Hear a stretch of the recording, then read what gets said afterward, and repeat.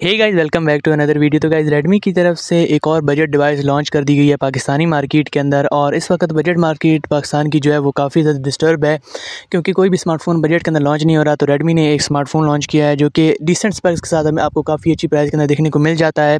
ये है रेडमी का ए टू प्लस तो आज की इस वीडियो के अंदर हम स्मार्टफ़ोन की अनबॉक्सिंग के साथ साथ इसके फ़र्स्ट इंप्रेशन और छोटा सा रिव्यू भी करेंगे। कि आपको ये स्मार्टफ़ोन लेना चाहिए या फिर आपको किसी और ऑप्शन की तरफ़ जाना चाहिए तो बगैर किसी देरी के वीडियो को स्टार्ट करते हैं। सबसे पहले अगर हम अनबॉक्सिंग एक्सपीरियंस की बात करें तो बॉक्स के अंदर आपको आपका स्मार्टफ़ोन देखने को मिल जाता है। साथ में यहाँ पर आपको एक सिलिकन कवर देखने को मिल जाता है। एक type A to type C cable और टेन वाट का यहाँ पर आपको चार्जर देखने को मिल जाता है। सिम इजेक्टर पेन ये स्मार्टफ़ोन अपने साथ लेकर आता है। स्मार्टफ़ोन के डिज़ाइन और बिल्ड क्वालिटी की बात की जाए तो डिज़ाइन नो डाउट स्मार्टफ़ोन का काफ़ी ज़्यादा खूबसूरत है। बैक साइड के ऊपर आपको काफ़ी प्यारा डिज़ाइन देखने को मिल जाता है और बैक साइड से देखने पर ये नहीं लगता कि एक बजट स्मार्टफ़ोन है। डिज़ाइन वाली साइड से यहाँ पर यह स्मार्टफ़ोन काफ़ी ज़्यादा प्यारा और काफ़ी ज़्यादा खूबसूरत रेडमी ने बनाया है। बैक साइड के ऊपर आपको बहुत ही अच्छे तरीके से कैमरा सेटअप और यहाँ पर ओवरऑल जो बिल्ड है वो प्लास्टिक की है। यूनी बॉडी डिज़ाइन के अंदर ये स्मार्टफ़ोन हमें देखने को मिल जाता है। इस स्मार्टफ़ोन के अंदर आपको 3.5 पॉइंट फाइव जैक एस डी कार्ड स्लॉट और सिंगल स्पीकर का सेटअप देखने को मिलता है। टाइप सी की पोर्ट देखने को मिल जाती है। तो ओवरऑल जो यहाँ पर फ़िज़िकल ओवरव्यू है स्मार्टफ़ोन का और बिल्ड क्वालिटी है, वो काफ़ी अच्छी यहाँ पर रेडमी ने बनाई है। डिस्प्ले की बात करें तो यहाँ पर आपको एक आईपीएस पैनल देखने को मिलता है। जो कि six point five two inches का है, ये ये एक सेवन ट्वेंटी पी वाला पैनल है। यहाँ पर आपको फोर हंड्रेड की पी ब्राइटनेस देखने को मिल जाती है सिक्सटी हर्स का रिफ्रेश रेट देखने को मिल जाता है। तो ओवरऑल जो डिस्प्ले है, वो डिसेंट मैं बोलना चाहूँगा इस प्राइस रेंज के हिसाब से आपको ऐसी डिस्प्ले देखने को मिलेंगे। आपका जो कॉन्टेंट एक्सपीरियंस है, वो अच्छा रहने वाला है। यहाँ पर आपको ड्यू ड्रॉप नॉइज़ देखने को मिलने वाली है फ्रंट के ऊपर। बेजल्स और चिन जो है, वो भी यहाँ पर प्राइस के हिसाब से काफ़ी अच्छी लगाई गई हैं।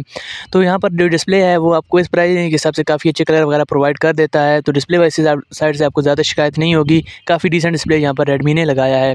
इसके अलावा यहाँ पर अगर हम इसके परफॉर्मेंस की बात करें तो इसके अंदर आपको देखने MediaTek G thirty six साथ में यहाँ पर आपको थ्री जी बी की L P D D R four RAM देखने को मिलने वाली है और सिक्सटी फोर जी बी की ई एम सी सी स्टोरेज देखने को मिलने वाली है। तो इस प्राइजिंग के हिसाब से जो परफॉर्मेंस है, वो डिसेंट में बोलना चाहूँगा, क्योंकि इसके अंदर आपको देखने को मिलता है एंड्रॉइड थर्टीन के साथ उसका गो एडिशन और यहाँ पर एंड्रॉइड थर्टीन का गो एडिशन है, वो यहाँ पर आपको थोड़ा सा लाइटर एडिशन है तो यहाँ पर आपको जो स्मार्टफ़ोन है, वो ज़्यादा लैग नहीं करेगा, ज़्यादा हैवी इसके अंदर जो है आपको सॉफ्टवेयर देखने को नहीं मिलता।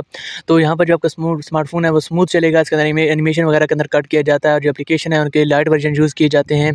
तो इस वजह से यहाँ पर जो ये सॉफ्टवेयर होता है, वो थोड़ा सा लाइट होता है नॉर्मल एंड्रॉइड से। तो यहाँ पर जो है, आपको काफ़ी अच्छी परफॉर्मेंस देखने को मिलेगी। आपकी डेली टास्क स्मार्टफ़ोन काफ़ी तरीके से हैंडल कर लेगा। आप इसके ऊपर ये मत समझना कि गेमिंग करेंगे या फिर एडिटिंग करेंगे तो इसके लिए ये स्मार्टफ़ोन नहीं बना। आपके जो डेली टास्क हैं यूट्यूब व्हाट्सएप इंस्टाग्राम ट्विटर इन चीज़ों को ये काफ़ी अच्छी तरीके से हैंडल कर लेगा। लेकिन ये कोई हैवी यूज़ के लिए स्मार्टफ़ोन आप, अगर आप लेना चाहते हैं तो हैवी यूज़ के लिए स्मार्टफ़ोन जो है, वो आप इसको यूज़ नहीं कर सकते। कैमरा डिपार्टमेंट की बात की जाए। तो यहाँ पर आपको बैक साइड के ऊपर डुअल कैमरा सेटअप देखने को मिलता है। एट मेगापिक्सल का मेन सेंसर और एक यहाँ पर आपको डेप सेंसर दिया गया है। फ्रंट के ऊपर आपको फाइव मेगापिक्सल की सेल्फी देखने को मिल जाती है। फ्रंट और back side ten eighty P thirty के ऊपर वीडियो रिकॉर्डिंग कर सकते हैं। कैमराज की क्वालिटी बहुत ही डिसेंट है, बहुत ही एवरेज है। यहाँ पर कोई आपको अंदर एक्स्ट्राडनरी कैमरा यहाँ पर देखने को नहीं मिलता। इस प्राइस रेंज के हिसाब से आपको जैसी जो है क्वालिटी कभी अच्छे फ़ोटोज़ आ जाते हैं। इनकन्सिस्टेंसी यहाँ पर आपको काफ़ी ज़्यादा देखने को मिलेगी। एच अच्छे तरीके से बैलेंस नहीं कर पाएगा। एक्सपोजर की यहाँ पर आपको प्रॉब्लम देखने को मिलेगी। तो यहाँ पर जो कैमरा है वो बहुत ही बेसिक किस्म का लगाया गया है। लेकिन प्राइस के हिसाब से यहाँ पर कैमराज को हम ज़्यादा जज नहीं करेंगे।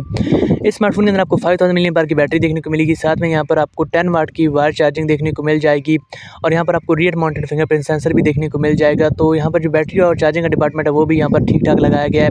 अब यहाँ पर अगर एटीन वाट कर देते इस प्राइस रेंज के हिसाब से तो यहाँ पर और बेटर हो सकता था, लेकिन टेन वाट काफ़ी कम चार्जिंग स्पीड है, क्योंकि अब ये काफ़ी पुरानी टेक्नोलॉजी हो चुकी है और काफ़ी टाइम ले लेती है ये स्मार्टफ़ोन को चार्ज करने में। तो यहाँ पर यह था इस स्मार्टफ़ोन की स्पेक्स और इसकी अनबॉक्सिंग अब ये जो स्मार्टफ़ोन है, ये पाकिस्तानी मार्केट के अंदर पच्चीस हज़ार रुपये के अंदर लॉन्च हुआ है। अब पच्चीस हज़ार रुपये के अंदर आपको और इससे अच्छा स्मार्टफ़ोन देखने को नहीं मिलता। लेकिन अगर आप यूज़ के अंदर जाते हैं तो वहाँ पर आपको काफ़ी अच्छे अच्छे ऑप्शन देखने को मिल जाते हैं। और अगर आप एक दो साल पुराना स्मार्टफ़ोन अगर कोई लेते हैं प्राइसिंग के हिसाब से तो वो आपको काफ़ी बेटर स्पेसिफिकेशन प्रोवाइड करेगा। आपको यहाँ पर जी नाइन्टी नाइन जैसे प्रोसेसर जी नाइन्टी सिक्स जैसे प्रोसेसर भी देखने को मिल जाते हैं। यूज़ स्मार्टफ़ोन के अंदर तो वो यहाँ पर आपको काफ़ी अच्छी परफॉर्मेंस प्रोवाइड करते हैं। तो मेरी तो आप यही राय है कि अगर आपने कोई न्यू स्मार्टफ़ोन लेना भी है तो अपना बजट बढ़ाकर तीस हज़ार पैसे ऊपर लें। लेकिन अगर आपने पच्चीस हज़ार रुपये के अंदर लेना है तो आपके लिए यही ऑप्शन है और कोई ऑप्शन भी नहीं है। तो आप स्मार्टफ़ोन को चेकआउट कर सकते हैं। बाकी आज की वीडियो आपको कैसी लगी कमेंट्स में ज़रूर बताइएगा। वीडियो को लाइक करके चैनल को सब्सक्राइब कर दीजिएगा। नेक्स्ट वीडियो के लिए अल्लाह हाफिज़। Thanks for watching